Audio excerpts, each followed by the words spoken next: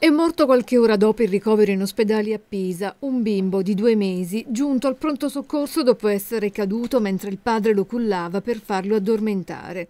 L'episodio è avvenuto sabato sera, il neonato è morto domenica mattina, dopo una notte trascorsa in neonatologia. La notizia, in tutta la sua drammaticità, arriva dritta a Vallo della Lucania. La mamma del piccolo è infatti una giovane di Vallo che da qualche anno vive e lavora a Pisa. Poche settimane fa la donna aveva messo al mondo i suoi due gemellini, per uno dei due un atroce destino. La notizia ha sconvolto la comunità vallese dove la donna è conosciuta da tutti. Il papà, un medico pisano in servizio ad Empoli, ha riferito ai colleghi del pronto soccorso di Pisa che il bambino gli è scivolato dalle braccia, battendo poi la testa sul pavimento, mentre lo stava cullando per farlo addormentare, mentre il fratello gemello dormiva nella culla.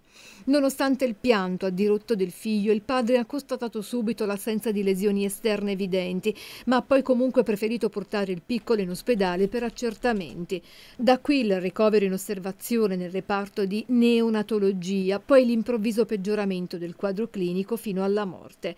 La cartella clinica è già stata acquisita dalla polizia giudiziaria, il genitore accusato di omicidio colposo. Al vaglio degli inquirenti c'è anche la condotta dei sanitari che l'hanno soccorso.